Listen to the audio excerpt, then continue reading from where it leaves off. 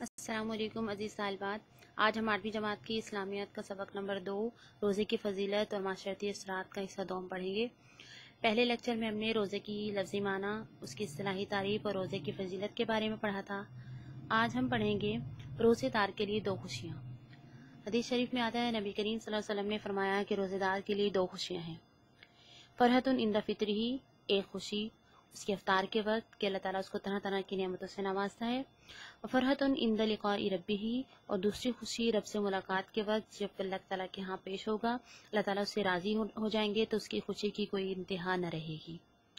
उसके बाद रोज़े की बाकी इबादत से ज़्यादा फजीलत क्यों है? उसकी दो वजूहत हैं।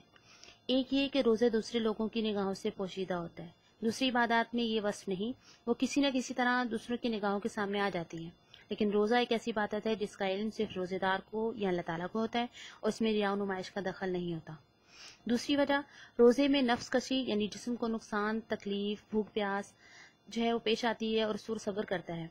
जबकि दूसरी इबादतों में अपने ऊपर इतना जबर नहीं होता और ना ही इतनी मुशक्क़त होती है।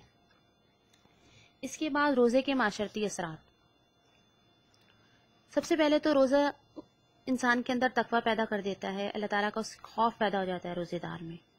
फिर क्या है कि दूसरे की भूख प्यास का एहसास होता है। दूसरों की हम, के लिए हमदर्दी का जज्बा परवान चढ़ता है। ख्वाहिशात पर काबू पाना सीख जाता है। रूहानी पाकिजगी हासिल होती है। फिर रूहानी पाकिजगी हासिल होने के साथ साथ जिस्मानी बीमारियाँ भी उससे दूर हो जाती हैं।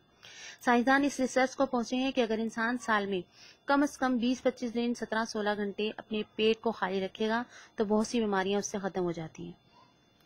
फिर इसके अलावा क्या है कि इंसान जो है वो रोज़ेदार कम अज़ कम गज़ा पर इतफा करना आ जाता है उसको। कनाज जैसी सिफत पैदा हो जाती है, कम पर राज़ी होना सीख जाता है। और सबसे अहम सिफत कि अल्लाह ताला रोज़ेदार से खुश होता है, अल्लाह ताला की रज़ा ही एक सच्चे मुसलमान का असल मकसद है। और जब अल्लाह ताला राज़ी होता है तो उसकी दुआएँ भी कबूल होती हैं, फिर उसके अंदर इखलास पैदा होता है। हज़रत मूसा अल्लाह ताला से हम कलाम हुआ करते थे। एक मतबा मूसा ने अल्लाह ताला से पूछा कि अल्लाह, जब मैं और आप, हम कलाम होते हैं तो आपके और मेरे दरमियान कोई पर्दा होता है? तो अल्लाह ताला ने फरमाया कि मूसा, जब हम आपस में हम कलाम होते हैं तो हमारे दरमियान सत्तर हज़ार पर्दे होते हैं।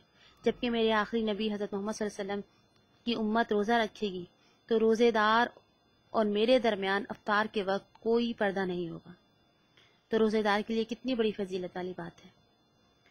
और फिर इसके अलावा कि जब दिन भर बुराइयों से वो बचा रहता है तो इससे माशरे की बुराइयाँ दूर हो जाती हैं, माशरा बुराइयों से पाक हो जाता है। लेकिन अगर रोज़ा रखने से ये सिफात पैदा नहीं होती तो फिर हम रोज़े के हकीकी मकसद से लापरवाह हैं। नबी करीम वसल्लम का इशाद है, कुछ लोग ऐसे हैं जिनको भूख, प्यास के सिवा कुछ हासिल नहीं होता।